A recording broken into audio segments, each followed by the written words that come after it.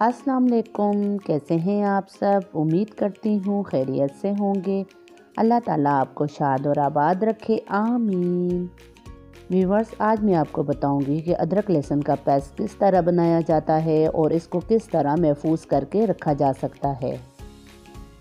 और कौन सी ऐसी गलती हम कर जाते हैं जिससे अदरक लहसुन का पेस्ट फ्रिज में भी ख़राब हो जाता है?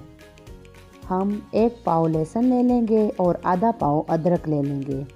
मैं इस क्वांटिटी में बना रही हूँ, आप इससे ज़्यादा भी बना सकते हैं। अगर लहसुन के छोटे छोटे जुए हैं तो फिर तो कोई मसला नहीं है, और अगर ज़रा बड़े हैं तो उनको काट कर छोटे कर लें, ताकि मशीन को भी इतनी मेहनत ना करनी पड़े।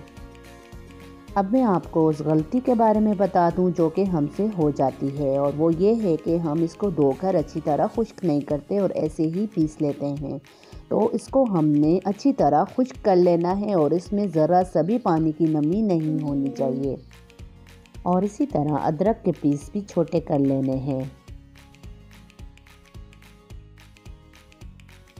रिवर्स ये अदरक लहसुन है, जो कि कट चुके हैं, और ये नमक है, जो कि हम इस्तेमाल करेंगे।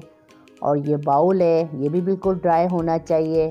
और ये बोतल है, चाहे शीशे की ले लें या प्लास्टिक की ले लें बिल्कुल खुश्क और ड्राई होनी चाहिए और इसका ढक्कन बिल्कुल ऐसा होना चाहिए जिसमें हवा बिल्कुल भी ना जा सके और ये टाइट हो सके। और ये नॉर्मल कुकिंग ऑयल है जो कि हम इस्तेमाल करते हैं।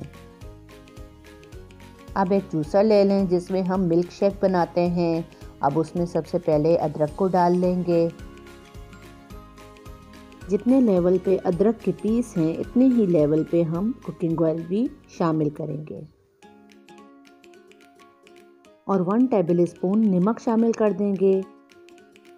और नमक भी नॉर्मली इसे ख़राब होने से बचाता है। वीवर्स आप इस पेस्ट को छः महीने तक इस्तेमाल कर सकते हैं। हम इसे रमज़ान के महीने से पहले भी बना सकते हैं और बकरा ईद से पहले भी बना सकते हैं। इससे कुकिंग के दौरान बहुत ज़्यादा आसानी हो जाती है।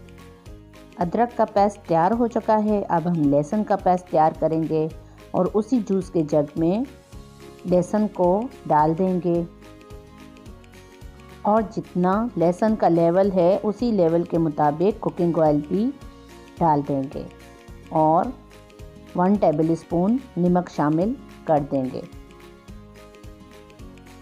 लहसुन का पेस्ट भी इसी तरह तैयार कर लेंगे और अदरक के पेस्ट में इसको भी शामिल कर देंगे।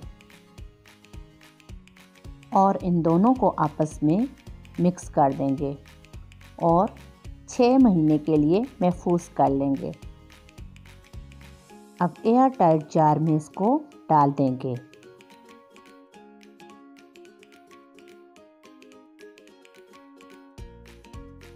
और इसको अच्छी तरह मजबूती से बंद कर देंगे। और जब भी इस्तेमाल करेंगे इसका ढक्कन अच्छी तरह बंद करके फ्रिज में रखेंगे। इसी के साथ इजाज़त दें एक नई रेसिपी के साथ। दोबारा हाजिर होंगी। अल्लाह हाफिज़।